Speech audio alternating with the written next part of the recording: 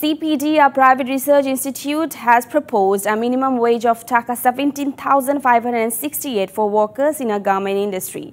The proposal was made by CPD during the research scheduling, observation and recommendation ceremony. Top leaders of BGMEA and BKMEA by representative leaders of various labor organizations.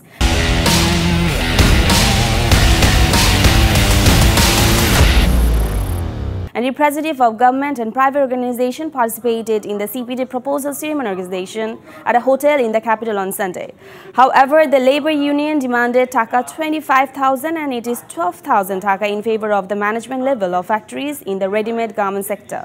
CPD conducted a survey to find this information, although the wages of workers in the garment sectors were increased last in 2018. It has not yet been fully implemented. দু সালে যেটা আমাদের কাছে